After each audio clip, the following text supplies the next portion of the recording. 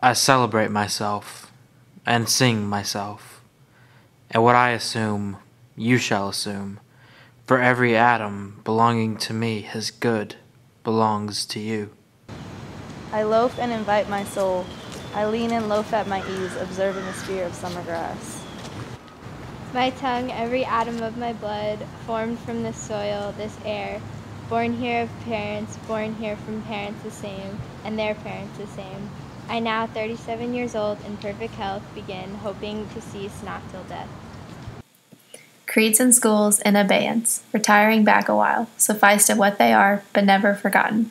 I harbor for good or bad, I permit to speak at every hazard, nature without check, with original energy.